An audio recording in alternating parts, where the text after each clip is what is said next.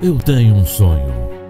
Estou feliz de estar aqui vivenciando o evento que entrará para a história como sendo a maior mudança da nossa bela Crisópolis. Há mais de 100 anos, um grande homem chamado Antônio Conselheiro pisou os pés na nossa cidade e construiu a nossa linda igreja.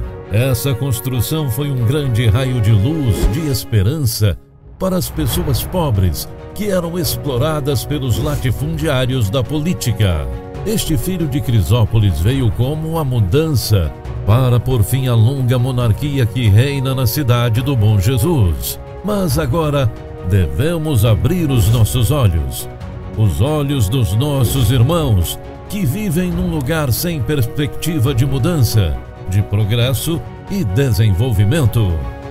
Encontramos aqui hoje um filho dessa terra que, assim como eu, sonha em mudar essa realidade que já dura mais de 20 anos. A minha pré-candidatura a prefeito de Crisópolis é para valer.